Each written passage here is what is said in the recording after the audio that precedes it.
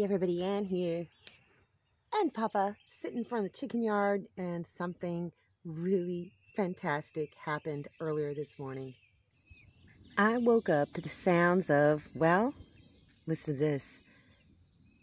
Yeah, I decided to just go ahead and put the phone down because I needed to go get some chicken feed.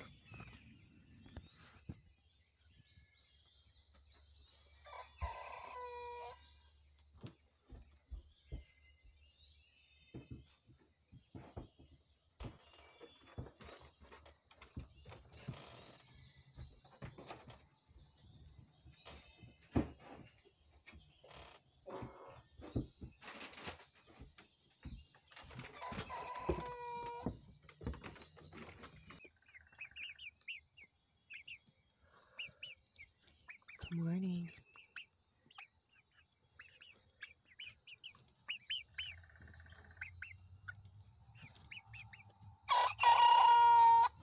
You did it.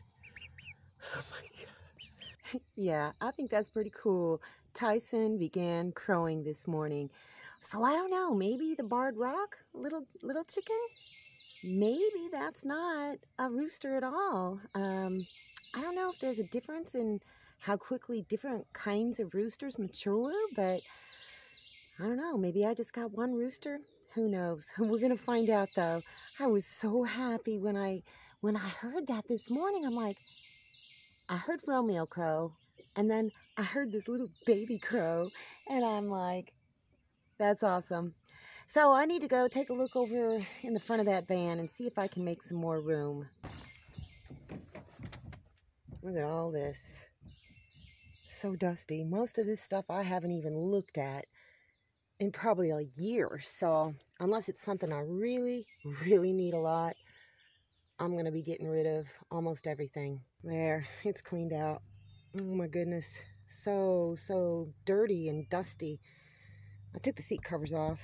Um, phew, a lot of memories cleaning out this stuff. And I did go ahead and sit on this seat and it just brings back a lot of good memories about living and working out of this van. It was so much fun, you guys. I just, I really miss it, but it's a van coop now. So now I got to figure out how to get these seats out. Trash, trash. Oh, look, look at these. Stripper boots. Yeah, I don't think I'll be wearing those.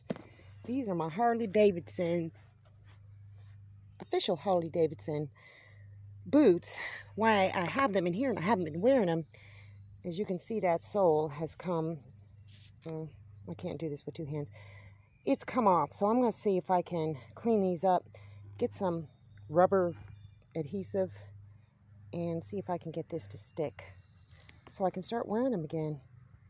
That bag is kind of dirty on the other side, but I can clean it up. Inside is my DoorDash bag, and it's in good condition, so I'm going to hold on to that in case I need a DoorDash fan. That bag is full of Christmas decorations, so I'm definitely going to keep that. Look at, I found my fishing poles and my fishing pole holder and my bank pole that I made. awesome. Yeah, I use that in the Daniel Boone National Forest over here. That pine cone, I'm saving it forever because it just, it was the first pine cone I found at the Daniel Boone National Forest, and I had such a good time there. It was a life, a life-changing time for me. Uh, let's see, some kind of charger. I don't know what it's to, but I probably need it.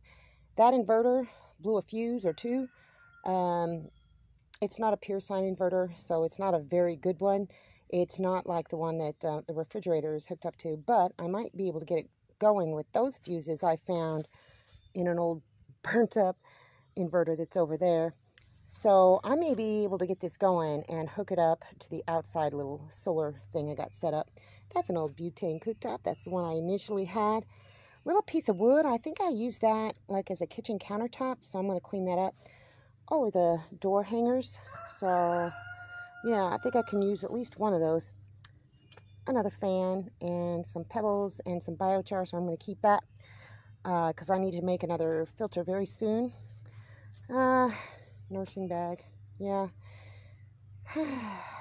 There's lots of stuff in there I can still use, so I'm going to hang on to that. Just got to find a place for them. It's not going to be in the tiny house. Probably get a big box and cover it with a one of those big garbage cans, garbage bags, and uh, just store it all in there. those seats are going to be nearly impossible to get out. I'm going to have to have some help. So I'm going to ask for help getting those out. But in the meantime, I want to give these chickens more room right away. So I have a temporary solution. I'd open the door, but all the chickens are back here. Checking it out. Romeo's over there. Let me see if I open it, if they'll rush out. What do you think, Romeo? Hopefully somebody will go lay in that box over there. I got plenty of bedding. Eventually, uh, of course, I want the seats out, steering wheel out, all the pedals out, uh, the dash, everything out, and maybe even take the windshield out and put some hardware cloth up there. Who knows? But at least they have a few more feet of room. I don't know. This is the most half, you know what, chicken coop modification I have ever seen. But the only reason why I did this is because they're gonna poop and pee all over the place in here, like chickens do. And um, I didn't want it to start smelling, you know, right away, if you know what I mean. So even though I'm gonna be getting rid of these, I'm not trying to really protect them. I just don't want all that gross stuff. So I covered them with heavy duty garbage bags. Here it is from this angle. oh my gosh. They're already checking it out. I don't know. What do you think? It'll last just for a little while. We'll see. I am so hot and dirty after all that and, and, and stinky. So I'm going to show you what I have to go through to take a shower. First thing I got to do is filter a bucket of water. That's got a little bit in it. This is full from the rainwater. So yeah, let me just put them together. Now I got to get my nice clean bucket from in here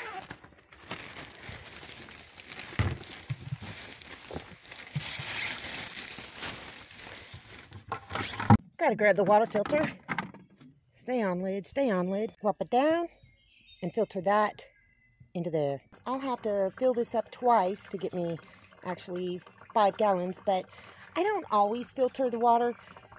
This water comes out really, really clean, but that's captured rainwater and it had little particles in it, little bugs, stuff like that.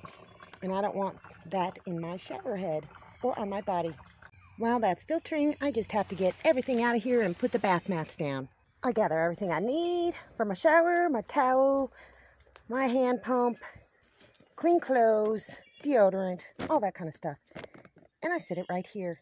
Oh, water is done filtering. Now I just got to carry it all the way over there. Water pump is in. My little scrubber is hanging from this little hook.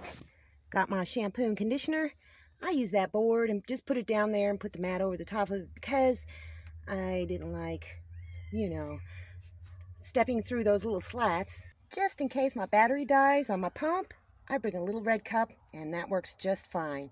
I hang my towel up from another one of these hooks and remember, that's from the hanging rack. They were extra clips. It holds that towel nice and tight. All I gotta do now is take a shower. It's gonna feel great.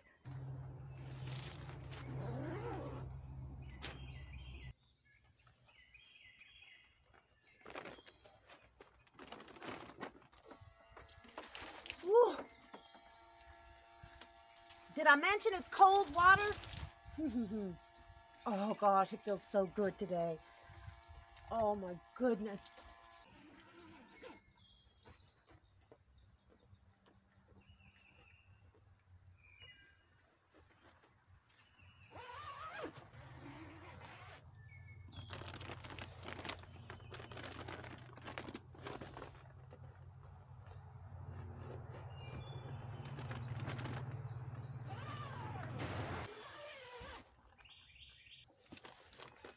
I hang everything up to dry, put everything back the way it was, and it is now an outhouse. So I got to go through a couple days of fuzzy hair.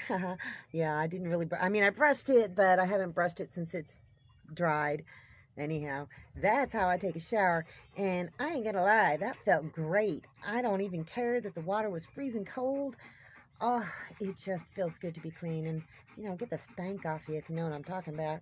Anyway, that's all I got for you guys today. See you in the next video.